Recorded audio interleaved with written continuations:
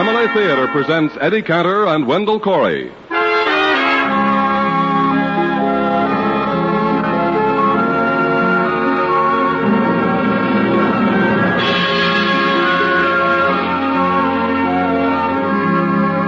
From Hollywood, the Mutual Network, in cooperation with Family Theater, presents The Little Prince, starring Wendell Corey. And here is your host, Eddie Cantor.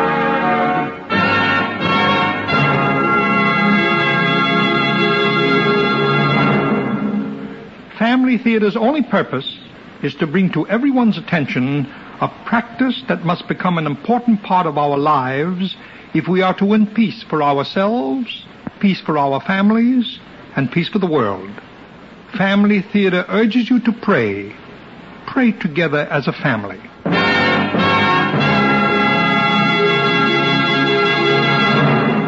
And now to our transcribed drama, The Little Prince, starring Wendell Corey as Zachary Balter.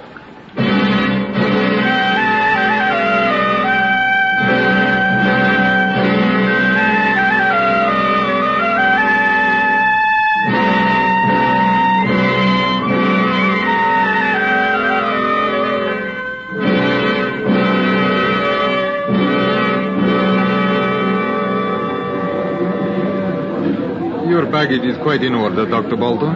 Thanks. Uh, anything else I have to have checked? Only your passport and the identification papers at the next desk. The officer in the gray uniform. Good enough. Uh, your valise? I got it. Thanks. Name, please, sir. Dr. Zachary Bolter. Uh, your passport. Here. Ah, American? Yes. Do you understand the conditions of your travel permit, Doctor? It's for one week. I understand that. So, it is my duty, therefore, to give you formal notice now that if by the end of that week you have not left our country, you will be subject to fine and imprisonment under the state immigration code. I understand. Very well. Would you be kind enough to initial this form in acknowledgement of those conditions? Sure. Uh, use my pen. Thanks. There you go. Anything else? Uh, one thing more. You are required to state your reason for entry. It's there in the permit. The child is sick. I've been called to this country for consultation. Oh, oh yes, I see. It uh, it must be a very important child to uh, bring you halfway around the world, Doctor. I wouldn't know about that. I've been advanced all my expenses and 50% of my fee. I can't kick. Of course. Anything else? No, no, your papers are in order. You may go. Thanks. Uh, say, how would I get to the, uh, wait a minute. Uh, Karen Hotel. Or any of the taxi drivers at the terminal entrance can take you there. Good. All the way through the annex, out the glass doors. Thanks. Goodbye.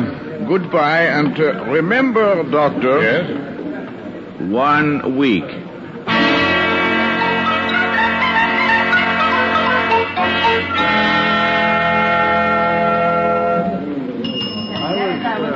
That's right, uh, 614. Take the ladies' bags up right away. Oh, uh, yes, sir? My name's Bolter. I wired ahead for reservation. Bolt, uh, one moment, sir. Uh, Bolt, uh, Oh, yes, Dr. Bolt. That's right. A single room with bed for one week. Oh, oh, no, no, no, no, no, no, no, no. Anything wrong? Only that we are so crowded, sir. Had my reservation almost a week. Oh, yes, Dr. Bolt. And the room is yours, but uh, might I ask, uh, will you be needing it for the full week? Well, no, matter of fact, I'll be leaving town for a few days tomorrow, but I expect to be back by Thursday or Friday. I see, sir. In, in that case, uh, would you object to our letting out the room while you are gone? Well, not as long as I can get it when I come back. Oh, you will, sir. Uh, what's the story? Those liberators of yours back again for another levy? It is uh, the automotive plant at the edge of the city. They are uh, rounding up forced labor to dismantle it for shipment uh, home. I see. And all the visiting bigwigs are looking for a hot meal and a warm bed. I'm afraid so, sir. Okay, you can have the room after tonight until Friday. Oh, thank you, Doctor. But I want it by then. Oh, you shall have it, sir, by all means. Uh, 509, uh, here is your key. Thanks. Oh, uh, incidentally, is there a Dr. Robert Longpre registered here yet? Uh, long tray, uh. Uh, yes, room 412. Is he a friend of yours? Oh, not yet, but I hope he will be.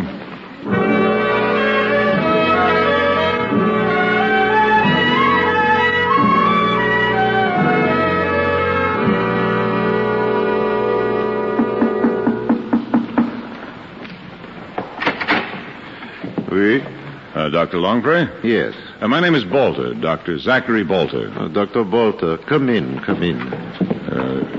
Je parle français, mais pas Oh, bien. no, no, I can speak English. But, uh, doucement, you know. Yes, moi aussi en anglais, mais, but our other colleague is an Englishman. It will be easier in English. will be for me. Oh, say, I'm sorry about the delay. My plane got held up in Rome. It is nothing. Dr. Rutledge himself arrived here less than two hours ago. This hotel? Yes, just down the hall.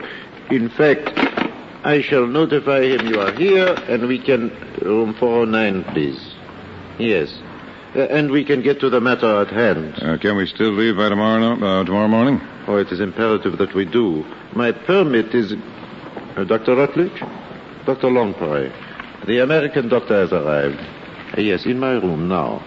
Would you have a moment to come down? Very good. We shall be waiting. For 12. Yes, goodbye. He will be along presently. You know Rutledge personally? Uh, no, only by, repute, by reputation, like yourself. Why, thanks. He is a very good man, I think. Oh, the best.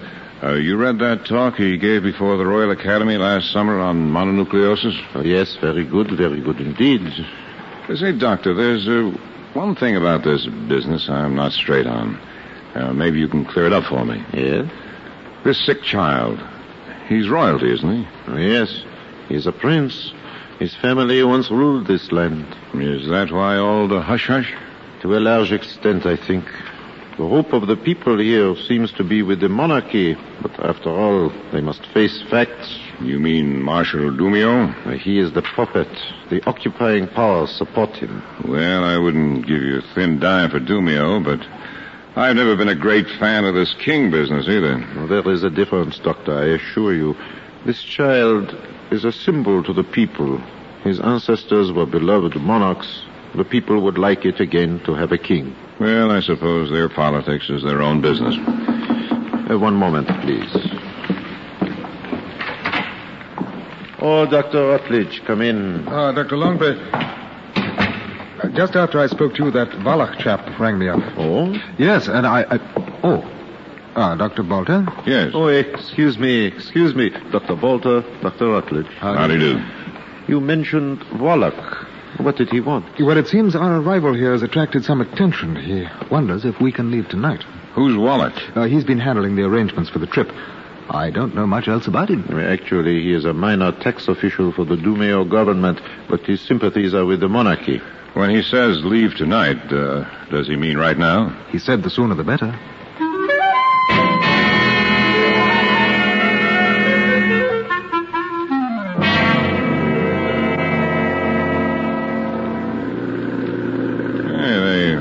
Up the sidewalks early in this town, don't they? Rather. I do not seem to recall the streets being so empty last night at this time. Maybe the marshal slapped on a curfew. I understand he's good at that. Perhaps, but then why have we not been stopped? That looks like the plaza up ahead. So it is. Allow left? Let me see. Yes, left and then stay on that street through to the city gates. The hotel where Wallach is to meet us is in a suburb ten miles south of here. Uh, you say that according to Wallach, the child's condition is serious? It could be, if left untended much longer. I'm surprised their own doctors couldn't get together on a diagnosis. I rather have the feeling they wanted to wash their hands of the case in view of the child's parentage. That's a thought. I guess Dumio wouldn't have much trouble wrecking their professional careers if he wanted to. No, I should think not. Look. Look up ahead. Where?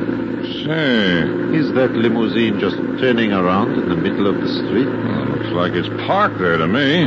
Yes, I think it is, Balder. Now, what could be that? I got it. Look, look, getting getting out of the back seat on the other side there. Oh, yes, two men in uniform. You may have been right about the curfew after all, Dr. Bolter. Uh, funny place for a roadblock. Yeah, I can't tell if they're police or soldiers. Probably the same thing in this country. They are waving us down. You had better stop, Doctor. Righto. I suggest we have our passports ready. Uh, probably just a routine thing. Identification, please. Right you are. Now, here. Here's mine. Anything wrong? And yours, sir? Yeah. Ah. You are Doctors Rutledge, Longpre, and Balter. That is correct. Hmm. It is my duty then to inform you that a high-ranking official of my country's government has requested a uh, brief, informal meeting with you. Meeting? Kind of a meeting. Tonight. At this moment, uh, gentlemen, your respective embassies have been informed of this invitation. They suggest that you comply. Uh, but look here, old man, we're in a bit of a rush. My instructions are to tell you the meeting would be brief. Now, wait a minute. It is but a short distance away. Scarcely four blocks. I don't care how near it is. Uh, Dr. Bolter, perhaps we would lose less time by accepting the invitation. That's a good point, Bolter. These chaps love to haggle. Uh, it's up to you, gentlemen. You will be on your way again in less than half an hour. It seems unavoidable. Okay, I'm game. Um, how do we get there? Now, uh, with your permission. Yeah, sure. Get in. Now, after you turn around, go back past the plaza to the large gray building at its north end. Is that where our host lives? Yes, in the palace.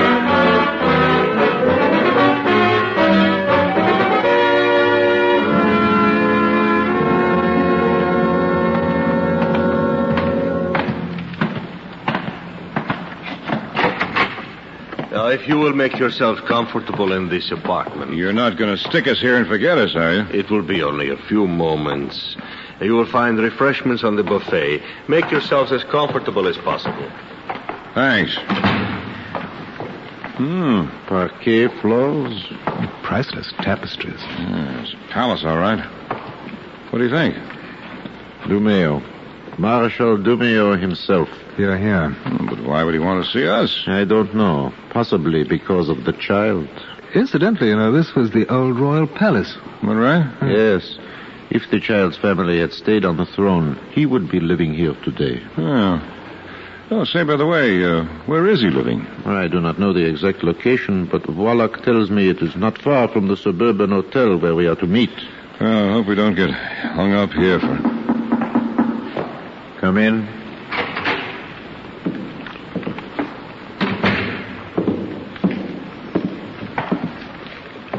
Allow me to welcome you. I am Yoro Dumio. Monsieur le Marechal. Please seat yourselves, gentlemen. It is not often our country has three such illustrious visitors. The honor is ours, Marshal. Quite. May I offer you some wine? Thank, you, sir. You first, Doctor. Uh, Bolter, is it? It is. Oh, Thanks. Not at all. I rather imagine you are all curious as to why I have requested this meeting. Uh, Dr. Longpre, your glass? Thank you. Uh, yes, speaking for myself, I am Marshal. Uh, Dr. Rutledge? Oh, thank you, sir. Well, it, uh, it concerns the patient which has brought you to my country. The child? Yes, Dr. Bolter. You see, there has been a little nonsense about my attitude toward the child and the royal family in general. Nonsense. Yes, just that. Uh, oh, allow me. Uh, no, thanks. This is plenty. Uh, doctors, more wine? Uh, no, Thank you, sir, no. Uh, well, to be specific, oh, by all means, sit down. The uh, most persistent and pernicious nonsense being spread about is that I regard this young prince as a threat to my regime, which is, of course, fantastic. Oh? Yes, to begin with, my countrymen no longer want a monarchy. We are building a new state with the help of our liberators. But, uh, if this is the case, Yes, uh, Dr. Longpre? Why does the child concern you? I was just coming to that. As I say, my countrymen no longer want the monarchy, but I realize they miss the pomp, the pageantry that the royal family can provide. Within limits, I would like to restore this to their lives. You mean you'd like to put the prince back on his throne? Or let us say rather that I would like to put a symbol back on the throne, since that is all he would be. Uh, quite, but um, could you be certain the child would remain only a symbol after he'd learned his way about? I am reasonably certain. You see, for all the clamor about him in some quarters, there is serious doubt that he has a valid claim to the title of prince at all. Uh, the dead king was his father, wasn't he? The child is scarcely two. His mother was a commoner who married the king long after the people of this country had banished him. Following the king's uh, ascent to heaven, she remarried a commoner like herself. All this in exile. Now, who is to say which man fathered this child who claims the title of prince? I should think uh, public medical records should give you that answer. The foreign records can be forged, and I am convinced his have been. If you are so convinced, Marshal, why return the child to the throne at all? For exactly the reasons I have given, Doctor. To restore some of the color and excitement that a royal family can give to a country. It need not be known the child is bogus. He will serve his purpose nonetheless. But, Marshal, Yes, uh, Dr. Bolter? if uh, if that's really what you want to do, why haven't you done it? Because, to be frank, up to now, I have been unable to. How come? My every effort to locate the child and his mother since their arrival in this country has proved futile. I see. I understand they are in serious financial straits, and I can appreciate their desire to travel incognito in view of these poisonous rumors, but it is nonsense. Maybe they don't know you want to help them. That is why I have asked to see you gentlemen. I need your help in locating and convincing the mother. Do you know a man by the name of Wallach? Wallach? I see by all your faces that you do. Put your minds at rest. I have been in touch with Mr. Wallach this evening. Did he know you were going to see us? He was informed that I intended to. You know his loyalty to the mother and child. Uh, he will take you to them. Yes. Then let Mr. Wallach's position in this matter guide you. Good evening, gentlemen.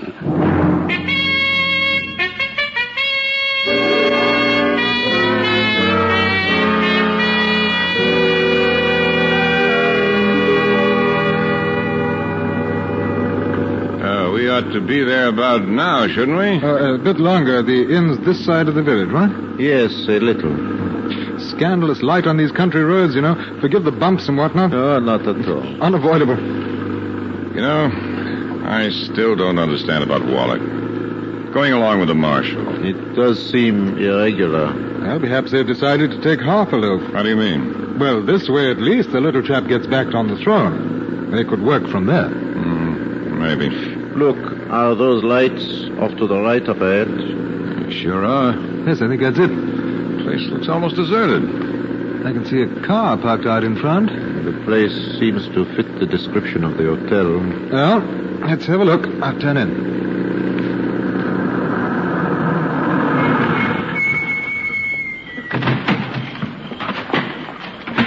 Only one car, all right. Strange. What's that? The lights I saw were not coming from the building. It is dark. They were this car's parking lights. Yeah, that's no way to treat a battery. Wait, I'll open the door and turn them off. It's just funny, this guy left his dash lights on, too. I better... Is something wrong? Look, What, what is it? man, Uh, hold on, I'll make a light. slumped over on the floor. Mon Dieu. What? It is Mr. Wallach. He has been shot. Wallach. Yes. Wait, wait a minute, wait a minute. His pulse is still beating. He's alive? Barely. Dr. Longford. Oui? Go see if you can wake someone in the hotel. We've got to get this man on a cart.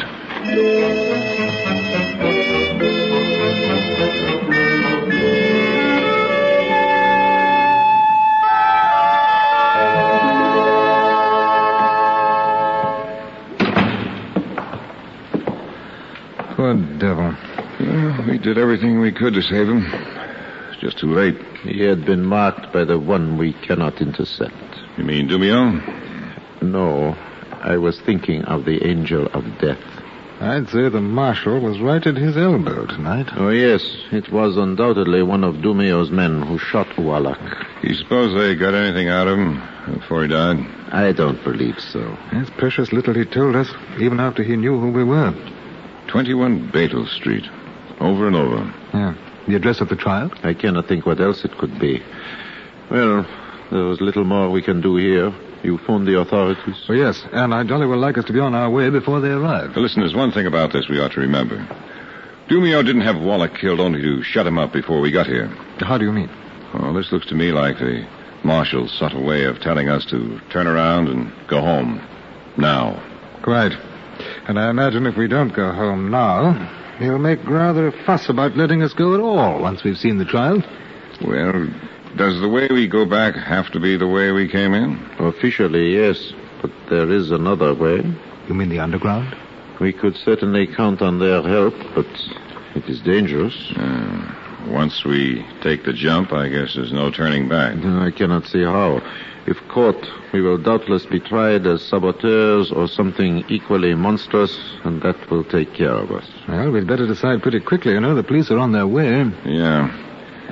Well, in all fairness, since we've taken good money for the job, we owe some professional courtesy to the child. Yeah, true. And then there's that rot we're always preaching about the doctor's first duty. Being to his patient? Well, after all, we're forever harping on it. Why, sure.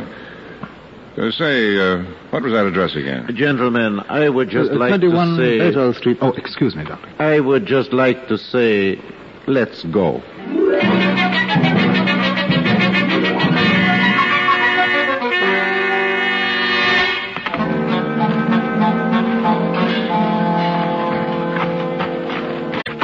Twenty-one? I think so. Just a second. Yeah. Yeah, this is it. Bon. Yeah, the place looks a bit run down, what? Run down. House is a slum. Uh, doesn't even have a doorbell here. Better knock. Yeah. Well, I suppose it's up to us to tell them about Wallach. I'm afraid so. I wonder if anybody's home. You know, it's possible they've heard what happened to him, and Yes? Uh, we, uh, uh, we are the doctors Mr. Wallach was bringing. Yes, step inside quickly. If you are wondering why Mr. Wallach is not with us... No. We had already learned. That is why my husband is not here now. He went looking for you. news must travel rather fast in this town. A friend of ours with the police phoned us what had happened. It is awful. Are, are you the child's mother? Yes. Would you like to see him? Uh, Perhaps, madame, if we might first examine whatever medical history or notes there might be on the case. Oh, yes, I have them. Will you come in here, please? Yeah. Thank you. This is all. I'm afraid the other doctors did not leave much information. Thank you. Even so. Hmm. Can you read this language? A word here, a word there. Oh, this is most unsatisfactory. Uh, perhaps if you. Ah. is it Your Majesty? The king promised me it would be. Someday. But for now, just mother of the prince. I see. Well, perhaps if you could tell us about the child. He. He's like his father, the king. Strong, robust. And yet, since he came to this country, he has been failing. How about his diet? He been getting enough of the right things to eat? As you can see, we are penniless. Not only that, the soil of this land is too poor to nourish its people. But your your present husband has a job, hasn't he? He has been brought here as a forced laborer, the quarter from a city in the north where we lived, to help dismantle the automotive plant. Oh, yeah, I heard about that. He receives a ration allowance, but no money. Gee, that's a shame. But you must understand, he is a wonderful man, brave and kind. He would give his life for my son. But look here. I can see you're broke. You're living in this hovel. You must not think we are unhappy. Okay, but uh, where did all the money come from? Money? Sure, our expense money, the fees you sent us. We come pretty high. Oh, I see, of course. You were not told. Not a word. Came right out of a clear sky. They were all the small offerings sent to the king over the years of his exile by the people in this country who were still faithful to him and wanted him to return with a great army. And instead, only you and his son have returned penniless. In the king's will, he instructed that it be done this way.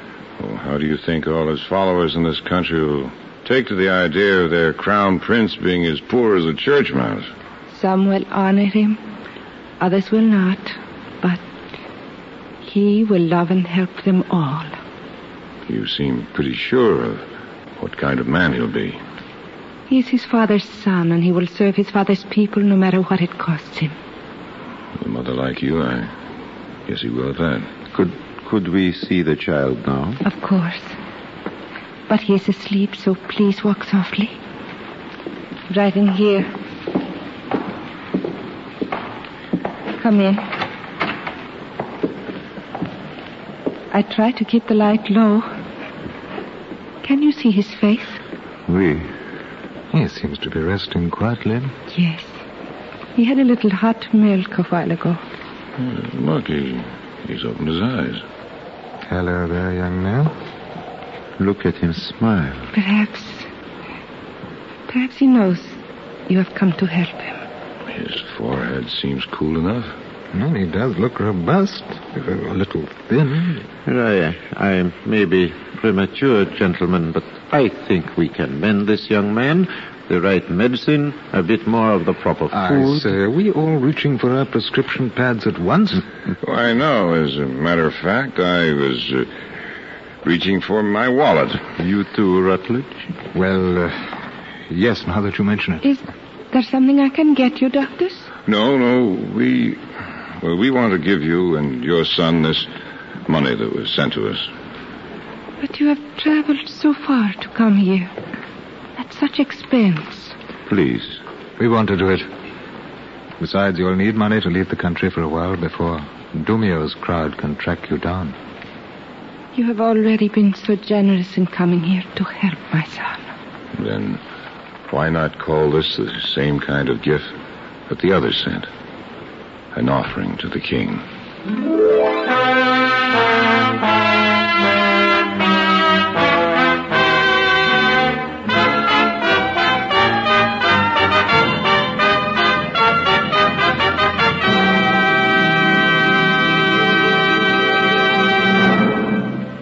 This is Eddie Cantor again. Have you made up your list of New Year's resolutions yet? You haven't? Well, then let me make a humble suggestion. Don't bother with a list. I speak from experience. Lists have a way of getting lost or forgotten. And after all, what would you include in such a list that you haven't promised to do before? I resolve not to lose my temper so easily. I resolve not to be such a grouch, not to complain so much when the kids are noisy or my wife is late getting dinner on the table. I resolve this, resolve that, resolve that. Why bother with a list when it all comes down to the same promise? I resolve to be a better person, a better parent, a better neighbor. We don't need a list to tell ourselves that, but there is one resolution we can make that will enable us to keep all the others. The resolution to lift our hearts and minds to the Almighty through daily family prayer. And if we still need a reminder to remind us of that, remember, the family that prays together stays together. More things are wrought by prayer than this world dreams of.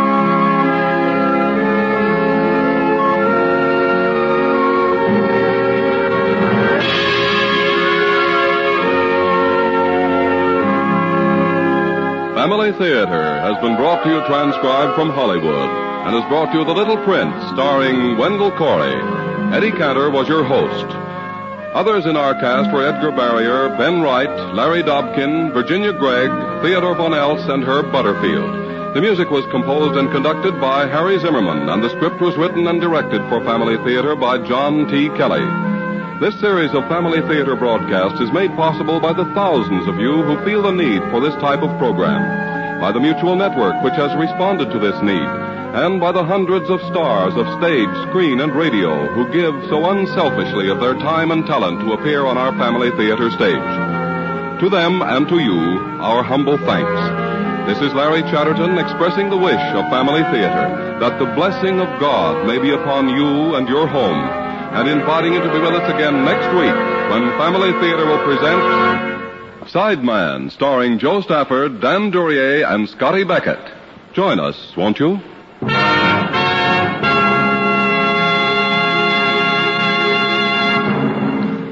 Family Theater is broadcast throughout the world and originates in the Hollywood studios of the world's largest network. This is the Mutual Broadcasting System.